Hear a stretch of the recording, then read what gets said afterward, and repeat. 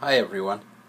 If you own a mobile control 2 from ESU, you find it a bit annoying to go use it and find it discharged because you forgot to charge it the night before, as it seems to discharge pretty quickly, consider making a charging station you could just sit it in. This is what I'm doing now. So the components I decided to put together are this small board and some pieces of finishing. It's a plasticized finish. And uh, now that I've cut everything, I'll just glue them all together.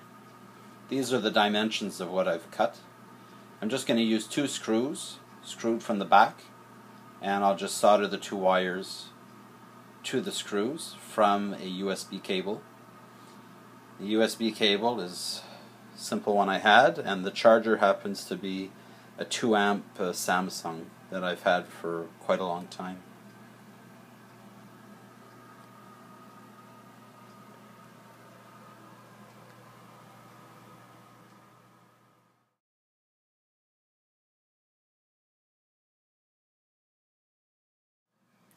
Here I've measured 15 millimeters up from the bottom and because the width with the sides is 65 millimeters in my model.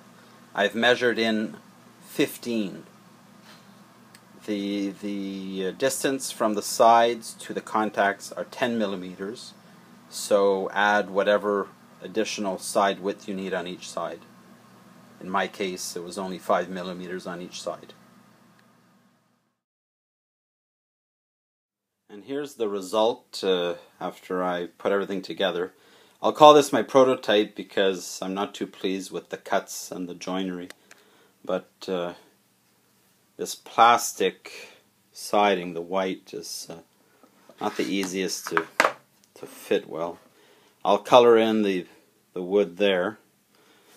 Once I'm done, I wanted to make sure it would charge properly, which it, it does. And uh, just set it down and that's it. I'll show it to set up on the layout next.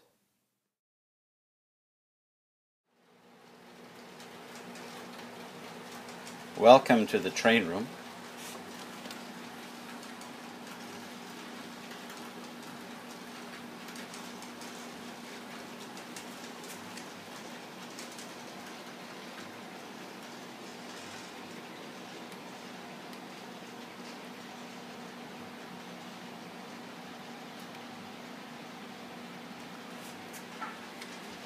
Here is the setup with my new charging station for the mobile control 2.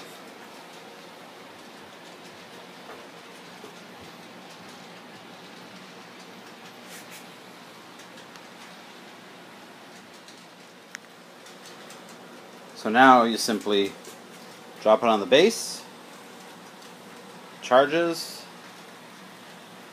or you just pick it up and away you go.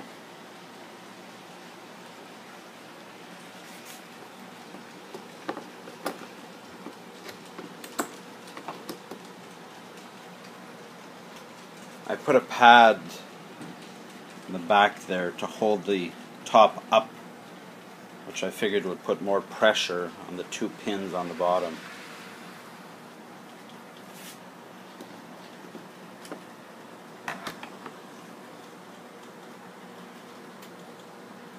As I said earlier, I'll color that in, make it look clean.